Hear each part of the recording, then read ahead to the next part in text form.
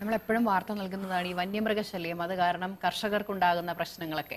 എന്ത് നട്ടാലും അതിന്റെ വിളവെടുപ്പായ അത് ഒന്നുകിൽ ആന അല്ലെങ്കിൽ പന്നി അങ്ങനെ പല ജീവികൾ വന്നിട്ട് നശിപ്പിക്കും. പൂ പൂവ് എന്തായാലും ഈ ആന കുത്തിമറക്കില്ല കാട്ടുപന്നി തിന്നില്ല.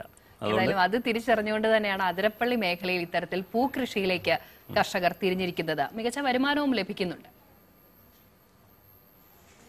അതിരപ്പള്ളി വെട്ടിക്കുഴി അർജുനൻ കാർഷിക കുടുംബാംഗമാണ്.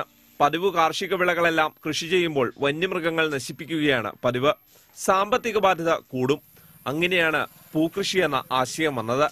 അൻപത് സെന്റിൽ പിങ്ക് നിറത്തിലുള്ള പൂക്കൃഷി തുടങ്ങി. പ്രതിമാസം നാൽപ്പതിനായിരം രൂപ വരെ വരുമാനം ലഭിക്കുന്നുണ്ട്. മാസത്തിൽ മൂന്ന് തവണ വിളവെടുപ്പ്. മൂന്ന് വർഷമായി തുടരുന്ന പൂക്കൃഷി സമ്പൂർണ വിജയമാണെന്ന് കർഷകൻ പറയുന്നു. ഇതിപ്പോ നിലവിൽ രണ്ട് കിളിക്കാണ് ഉണ്ട് ഒന്ന് ബോംബെക്കും ഒന്ന് ഡൽഹിക്കും. കൂടുതലും ബോംബെക്കാണ് പെട്ടുണ്ട് ബോംബെയിൽ സഹോദരനുണ്ട്. അപ്പോൾ ആൾക്ക് അവിടെ ബിസിനസ് ഉണ്ട്.